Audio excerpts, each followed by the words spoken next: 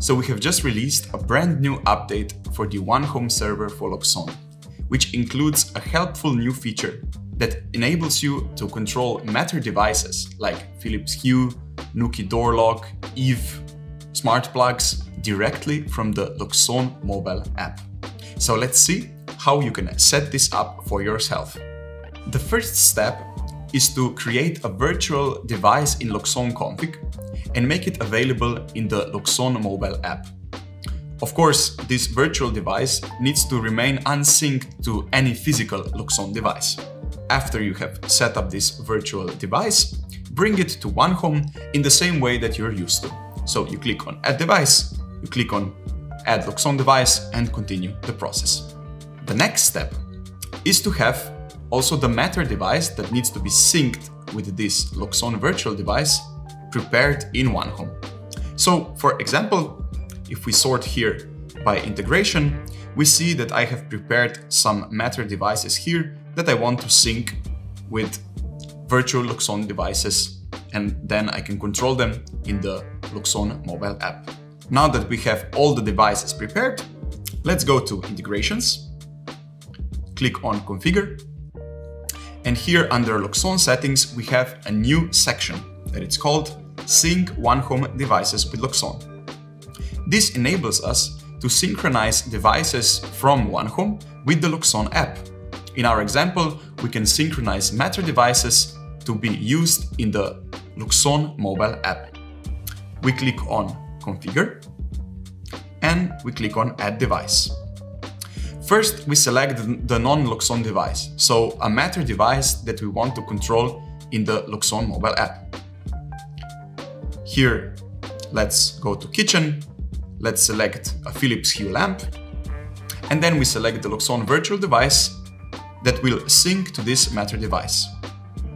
So we select the device, we go to Kitchen, and then let's select Ceiling.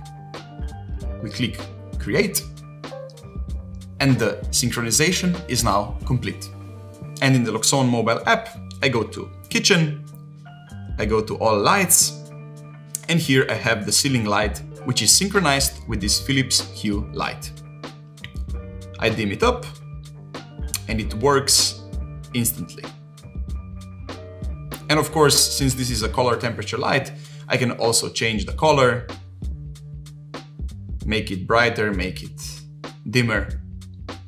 Let's add another device. Let's say that in the bathroom, I want to control with my Loxone mobile app a color light. In our example, I have a Nanoleaf full color light. Let's go to add device, go to bathroom, select the Nanoleaf light, then go to Loxone device, and again we go to bathroom, and we select the color light. We click on create, and the synchronization again is complete instantly. So now we have this Nanoleaf full color RGB light. In the Loxone mobile app, I go to the bathroom, all lights, and I go to color light. I can dim it up, again, works instantly. And of course, since it's a full color lamp, I can also change color as I please.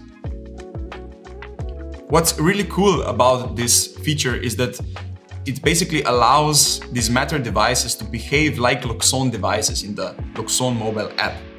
Which means I can go to color sequence, I can change the interval a bit, and then set up the colors to cycle as I please. Basically, as a Loxone lamp. What about smart locks? Let's add a Nuki smart lock to be controlled from the Loxone mobile app. Again, we go to Add Device, we go to Garage, Nuki door lock, and then we select the Loxone door lock to control from the Loxone mobile app. So we go back to the Loxone app, we go to Garage, and we open the garage door, which will control unlocking of this Nuki smart door lock. Click it. And it works again, instantly.